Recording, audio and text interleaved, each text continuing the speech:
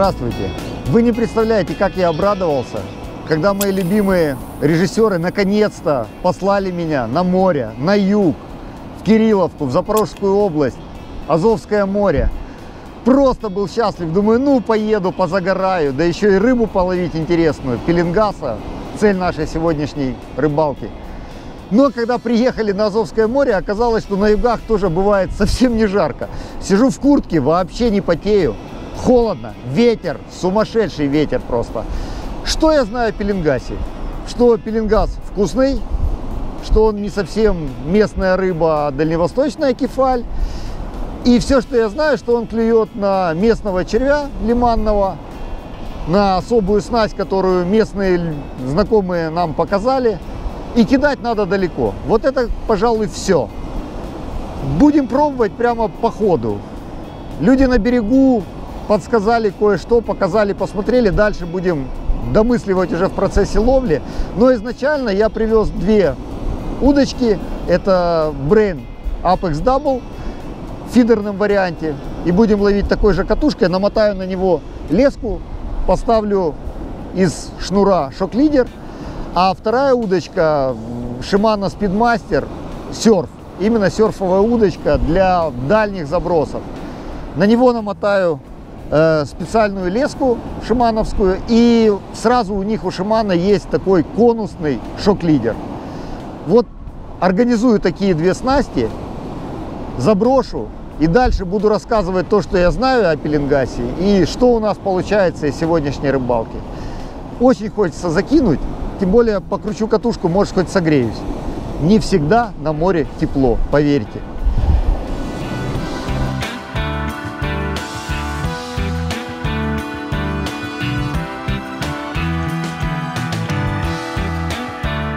Солененькая водичка. Так как у нас Apex Double от Брейна это все-таки удочка, которая для карпа, то и леску я намотаю на нее карповую, прологик. Меньше сносит ее. И все-таки песок абразивный. Э, посмотрел, вот местные все ребята ловят лесками, большинство. Кто-то шнуром, но все-таки шнур, наверное, и стирается очень сильно. Поэтому намотаю лесочку. Летит она хорошо, скользкая очень, карповая леска. Но для заброса поставлю, понятно, шок-лидер из шнура. Потому что груза используются такие нормальные, 110, 120, 150 грамм. А еще мне повезло, как обычно, как утопленнику, приехал и ветер, настолько сильный восточный ветер, что многие даже 200 грамм ставят груз, чтобы не сносило, потому что волновое течение очень сильное. Все, сейчас просто шок привяжу, продену в кольца, привяжу шок и первую оснасточку мы забросим с надеждой на интересную рыбу.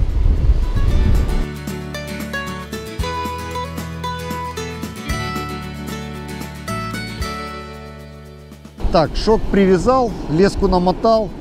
Карабинчики вот такие, которые вот как раз для моря. Вот они просто морские, надежные, крепкие. Поставлю карабин на конец шока, чтобы в случае чего можно было менять оснастки. Что такое оснастка? Посмотрел у всех людей, ловят плюс-минус одинаково. То есть идет э, флюрокарбон. Флюрокарбон 0,6, 0,55, 0,5, ну где-то в районе 0,6. Вот такой где-то высоты, метра полтора, наверное. Почему флюр? Потому что, ну, все-таки песок, и песок состоит из обломков ракушника. Понятно, что очень абразивная, обычную леску будет просто резать. Груз. Вот такой вот груз 120 грамм. Попробую, будет сносить или нет, пока не знаю, честно говоря с крылышками, чтобы хорошо летел и чтобы на обратке, да, то есть он цеплялся за дно. То есть суть примерно такая, чтобы его не сносило, то есть должен зацепиться. Поводок. Поводок тоже из флюрокарбона. Вот такой вот карповый отводик сделал.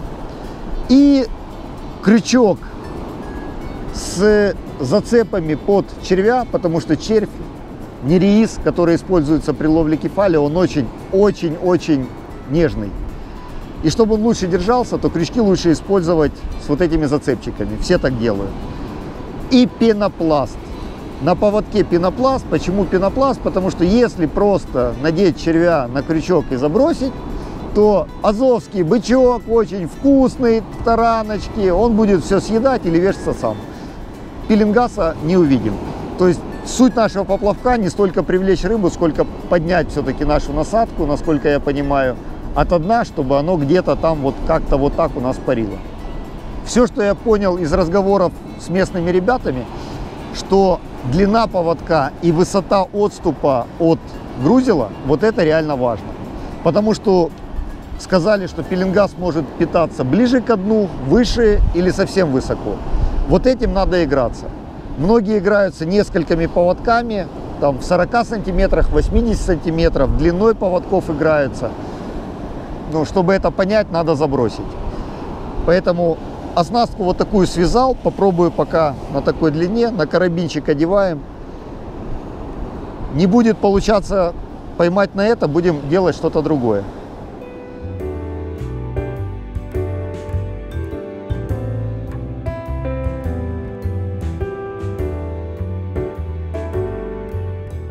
Первая снасть в воде, Apex. Почему выбрал именно Apex из фидеров? Ну, как фидерист, потому что ну, все, абсолютно все говорили, что бросать надо далеко. И чем дальше иногда, тем лучше. 120 метров, 110 метров. Но вот сегодня при вот этом ветрюгане и шторме я рыбу вижу прямо в первой волне под ногами. Не знаю, она кормится там или нет, но видно реально на гребне волны, иногда даже выпрыгивают пеленгасы.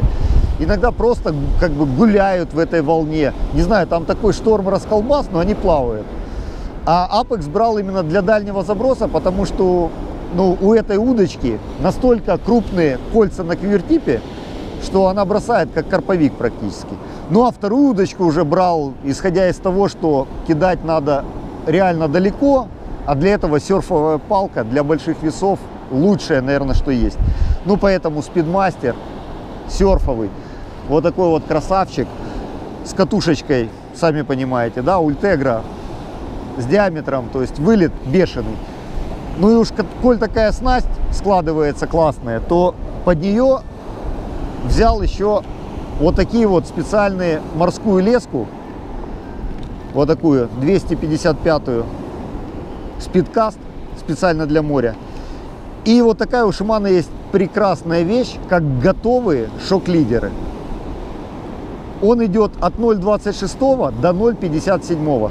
То есть к основе вот этой я привяжу будет 0,26, а там, где будет бросать груз и где будет идти нагрузка, будет идти 0,57 специальная леска. Очень удобная, очень классная вещь. Так что будем мотать лесочку вот такую красивенькую на вторую нашу удочку. Будет такая чисто у меня шимановская снасть. Все шимана. Или шимано. А как правильно? Шимана или шимано? Наверное, шимано, но шимана как-то привычнее. Самое интересное, это то, что меня же не просто так сюда послали, а со словами пеленгаз просто клюет, как сумасшедший. Ну, вы знаете, да, мое счастьечко? Даже местные нам сказали на базе, что, ха, ребята, вы вообще там не станете, все занято будет, даже ночью вы место не займете.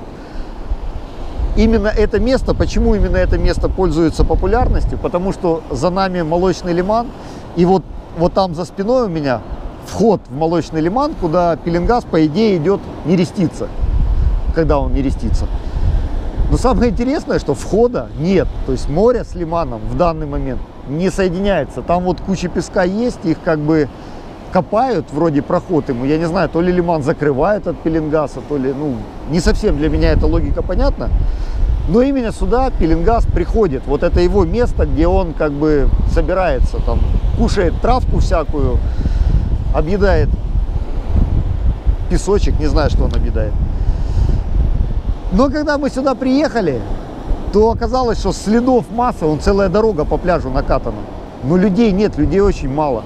И вот все ребята, которые приехали, они тоже такие, а где люди? Оказывается, опять информация от местных жителей, что «А, так восточный ветер сильный задул, все, клево три дня не будет». Я, конечно, как всегда, очень сильно расстроен, но есть одно «но». Клев для меня лично с нормой вылова 3 килограмма все-таки никто же не отменял, да? И у местных это абсолютно разные вещи. То есть у местных это не клюет, потому что 50 килограмм я не поймал. Вот это не клюет. Поэтому я надеюсь, что несмотря даже на мерзкий ветер, не знаю, на какие-то тучи там вот за оператором, он бедный это не знает еще, я-то вижу, а там тучи, а мы на море. Я думаю, все равно мы кого-то поймаем. Ну не может быть, я рыбу вижу в волнах, она есть. Осталось просто ее поймать. Морская удочка, морская леска. Опять не знаю, что такое морская леска и чем морская отличается от неморской, но, наверное, что-то же они придумали. Мотаем.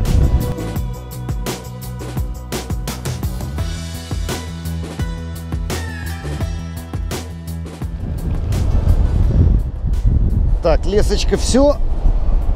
Теперь привязываю к ней шок-лидер наш. Красивенький. Непривычно на море все с песочком.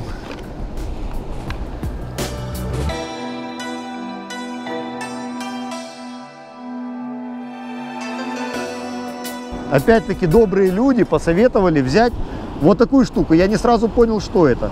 говорю, а зачем проволочка? Оказывается, это не проволочка, это трубочки. Вот такие стальные трубочки, тоненькие. В чем суть? Это в трубочке проволочка, чтобы ее прочищать, если она вдруг забилась. Значит, мы берем трубочку, берем нашего червяка, и начинаем его одевать на трубочку с головы. То есть нам загибать не надо, нам просто его надо ровно нанизать на нее. Трубочку вставляем его в рот и ровно продеваем. Ровно как-то это гораздо проще получается. Вот я одел целого червя, а можно одеть также кусочками. То есть ничего не поменяется, он кусочками также ровненько оденется одели червяка. Сейчас добавлю еще червячка или кусочек, допустим. Вот у меня тут хвост какой-то непонятный есть.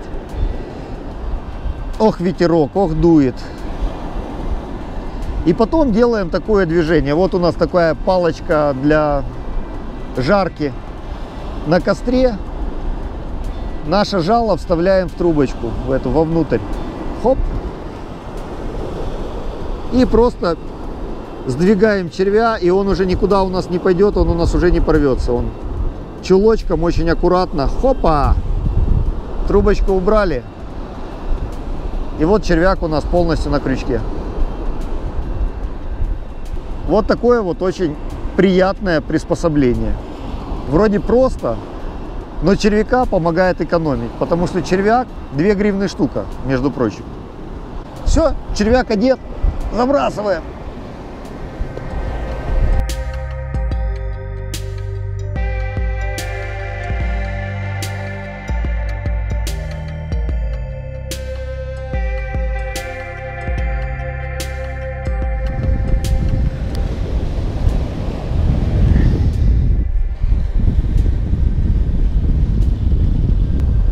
Не понимаю, что происходит. Куда-то то ли унесло, то ли... Не, это рыба, слушай, там рыба, наверное. Или груз. А, вот он мой пеленгасик первый. Иди сюда. А, я его поймал. Тихо.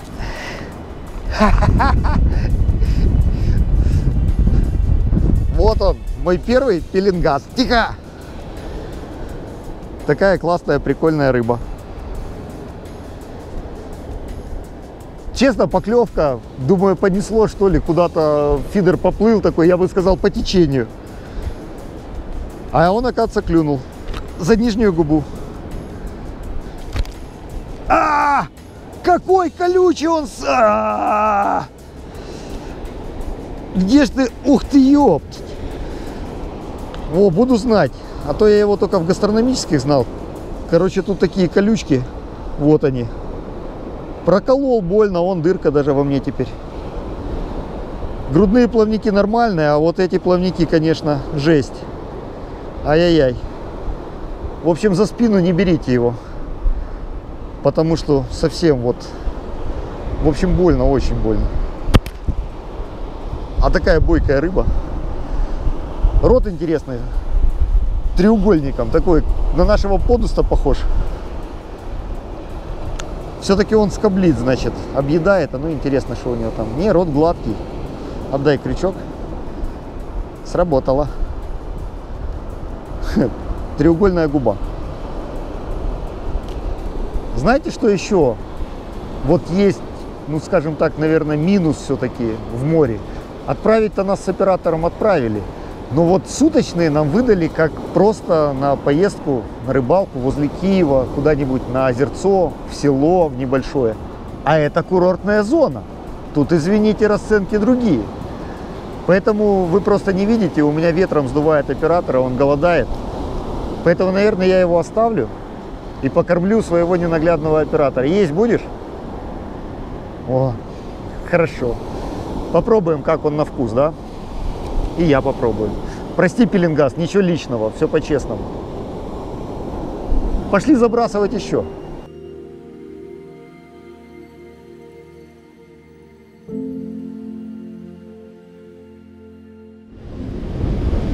О, а это что за чудо такое? Ты кто, зверь? Чаечку принесло. Ох ты, бедолага ты. А, ты летать не можешь, ты просто пришла ко мне, не буду тебя трогать. Природа, есть природа.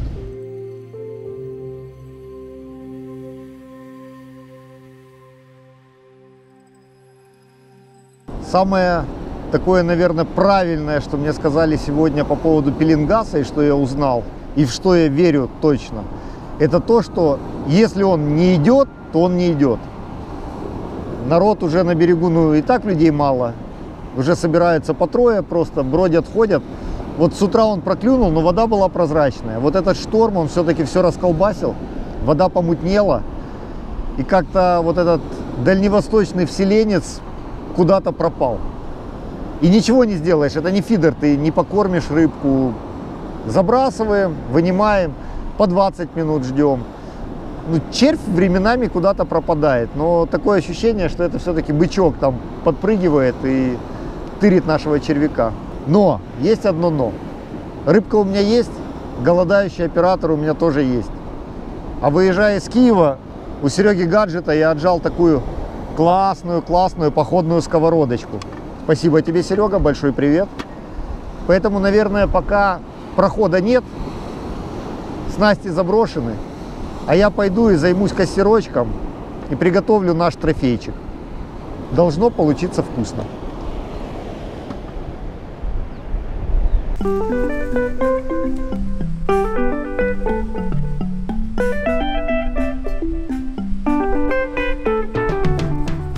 Вот что самое главное в любом, даже самом рыбном месте, это посмотреть, что делают аборигены, особенно в неизвестном месте. Вот посмотрите, ни одного спиннинга не закинуто. Вот не идет сейчас пилингаз, нет его. Вот помутнело, он куда-то пропал, там своей жизнью живет. И все, все ушли.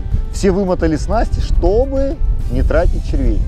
Это не наш вариант, когда опарыша насадил, закинул и пусть стоит. Потому что выгрызает червя, а червь дорогой, ценный и копать его очень тяжело. Поэтому обратите внимание на берег. Никого. Утренний проход был не очень многочисленный. Ну, слава богу, на покушать поймать смогли. А сейчас вот такой перерыв обеденный. Ну, поэтому и мы пообедаем.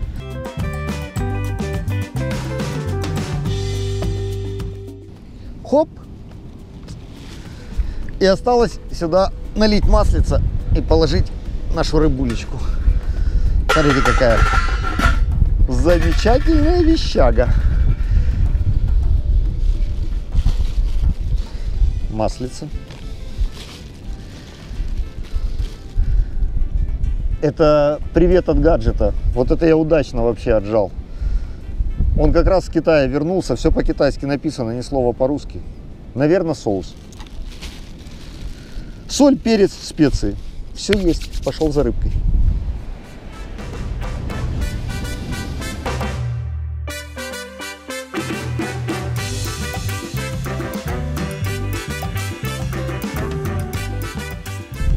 Жареная рыбка это всегда хорошо. А жареная свежая рыбка это вдвойне хорошо. А жареная свежепойманная рыбка это вообще шикардос просто. Ох, у нас тут маленько пожарчик бывает. А, хорошо как.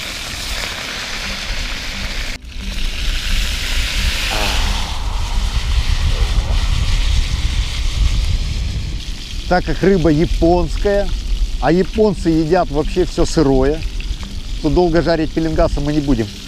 Прихватили с двух сторон и будем есть. Все-таки он свежий, только с моря.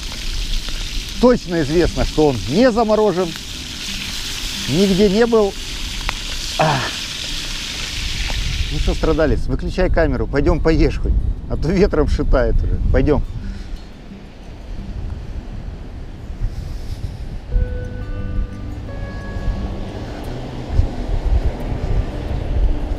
Правильно, поедим, все равно все как было, так и есть. Угощайся, родной. А то он худой-худой, как, как эти червяки, нерисы. И я с тобой за компанию кусочек. Ням-ням-ням. А там вообще дождь идет, смотри. Вот почему не клюет. Истину вам говорю. Давление. Все как обычно. Надо было проехать 800 километров, чтобы опять попасть на давление. Спасибо за внимание. Дайте людям поесть.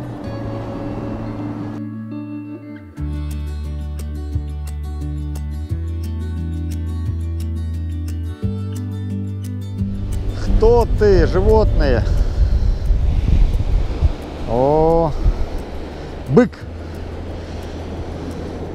Не совсем то, что как бы мы хотели. Вот кто объедает даже не на дне моих червяков. Да, может раненой чайки хоть сгодится.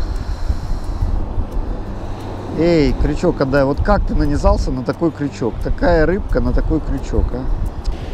На, будешь есть? Рыба.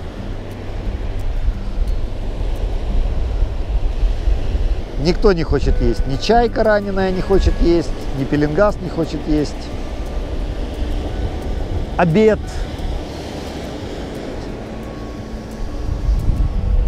И яблочко не хочу есть. Хочу пеленгаса.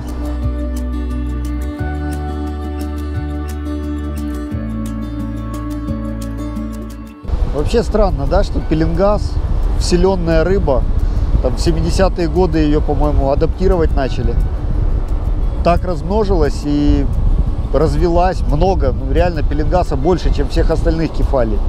Хотя аборигенные там лабан, сингиль, астронос, да, три вида, ну, очень-очень мало. Раньше говорили из-за экологии, но пеленгаз при этой же экологии каким-то образом же захватил практически, ну, Азовское море. Я думаю, что он кормовую базу все-таки выедает. А аборигенные виды как-то... Ух ты, поклевочка, поклевочка.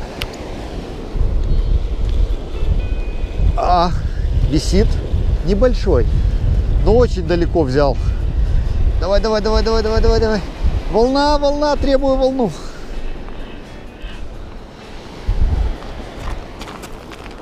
А, такой, такой пеленгасик. Маленький достаточно. Все равно приятно. Малышок пойдет в садочек. Уж очень вкусный оказался жареный. Очень далеко на самом выбросе, там, где чистая вода начинается. То есть все-таки от берега он сбежал, даже мелкий пеленгаз. Значит, будем швырять подальше. Пошел в холодильничек отнесу.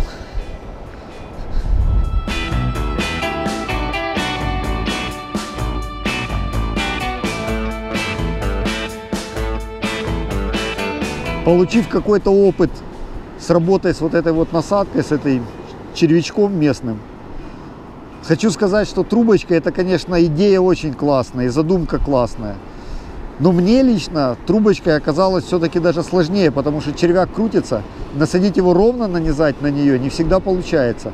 А вот за счет того, что крючок идет как бы снизу вверх, если вставляем в жало и чулочком, вот главное челюсть вот эту продеть, очень жесткая у него челюсть такая, но от трубочки я все-таки отказался. Конечно, на крючки обязательно зазубренные, иначе просто стягивают моментально. Вот на эти зазубренные отделы на цевье, и на том месте червь хоть как-то держится.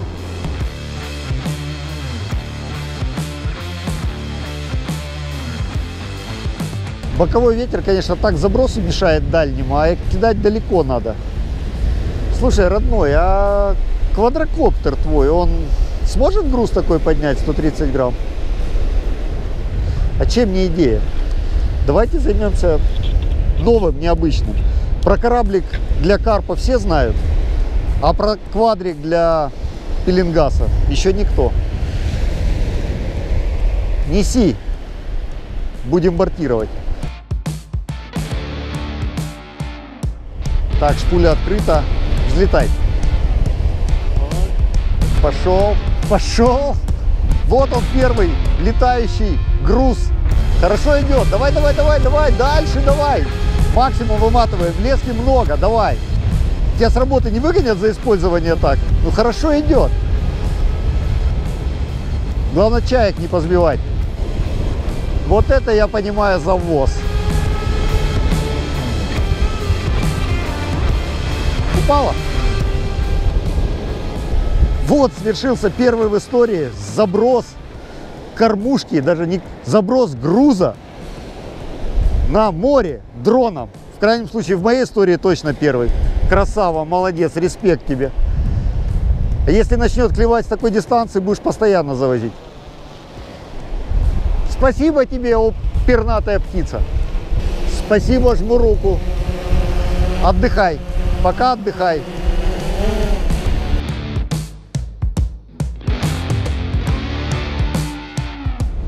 Куда оно летит, бог его знает судя по леске, куда-то далеко, но вот тяжело на волне, это вам не на Днепре. Плюх, грузик, упала, кормушка. Честно, я ничего не вижу. Понимаю, что куда-то в море. Зато одно могу сказать вам точно. Я понял, почему все ребята ставят все-таки вот эти вертикальные такие держатели Потому что если просто ставить на обычные фидерные треноги, вот на такие, не надо их вести на пеленгасы. Это я точно понял. Волна, когда вот так колбасит просто леску, а чем выше ты ставишь, ты уходишь из этой зоны. То есть вот, вот такое положение, оно все-таки правильное. А тренога для этого не особо подходит. Вот реально нужны коле стойки, которые будут держать удочки вертикально. Самое супер. Ну или под каким-то углом вот таким вот высоким очень.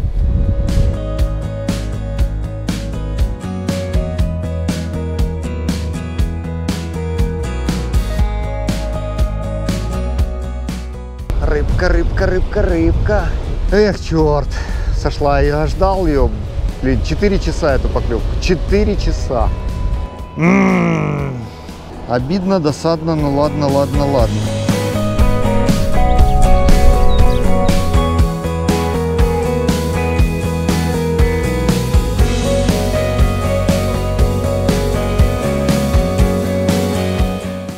Называется вечерело, а рыба все не шла. Это, конечно, самое комфортное бесклевие вот часа 4 последних, ну не считая схода, просто бешено обидного схода, просто крупная рыба, но она одиночная. А так сидишь, загораешь, шея сгорела, ветерочек дует, море плещется, все классно, но рыбы нет.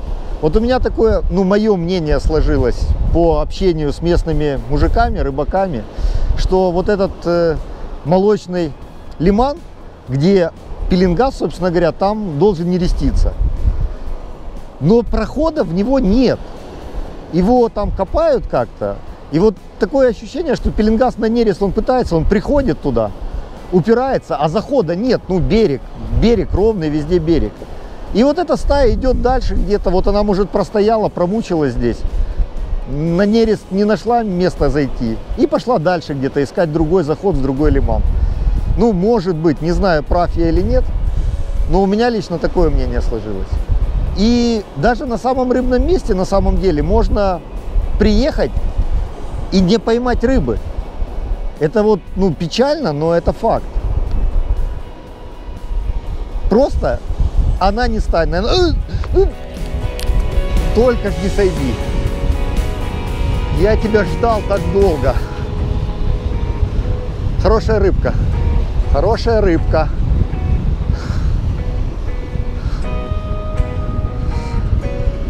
Давай, давай, давай, давай, давай, родной, давай, давай. Давай, давай, давай, давай. Только не сойди. Только не сойди, я тебя умоляю, рыба. Уже ж вечер. Блин, хорошенький. Да,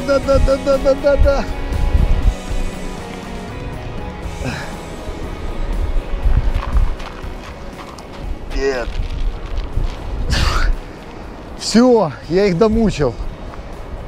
Ох и жестоко эта жесть. Очень тяжело. Вот такой красавчик. Под вечер. Целый день, целый день. Один сход обидный. Вот такие красавцы, живут же. Но человек, который продавал мне вот эти вот оранжевые штучки в рыболовном магазине, оказался прав. Он сказал, будет восточный ветер, три дня клевать не будет. Как они это знают, для меня загадка. Но факт остается фактом, местные даже не ловят. Приезжают с Черкас, с Запорожья ребята приехали. Вот все вот так. Ну, а рыба очень симпатичная, конечно. Но колючая. Как раз ты у меня, красавчик, будешь завершением нормы вылова. Норма взята. Хотя помучиться пришлось честно весь день. То есть на очень рыбном месте я умудрился попасть в очень нерыбное время. Тихо, тихо, тихо. Но так бывает. Это рыбалка.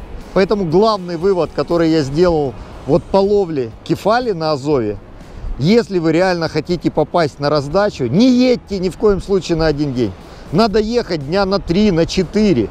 Вот тогда вероятность вы попадете. Может даже покататься здесь по косам, потому что можно приехать там, где еще вчера ловили, и опача, Сегодня я увидел это с утра. С утра рыбка была, и потом она просто хлоп и пропала. И весь день голяк и тишина, только маленькая кефалька. На этой позитивной для меня ноте, наверное, буду заканчивать сегодняшнюю программу. С вами был Федор Андрусенко. Подписывайтесь на наш канал, ставьте лайки, предлагайте новые места, а я приеду и проверю, рыбное оно или нет. Пока!